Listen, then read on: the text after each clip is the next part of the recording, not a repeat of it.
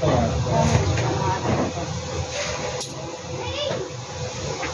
morning. Good morning. Good evening. Good evening po sa inyo lahat. Kumusta po kayo? Meron po kaming maliit na cake ngayon.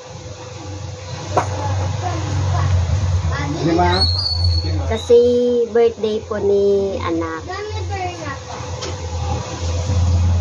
surprise po natin siya ng maliit na cake. Wala pa po siya eh. Nas, pauwi pa lang siya galing ng school. Wala naman po kaming masyadong pagkain. Ito ano lang.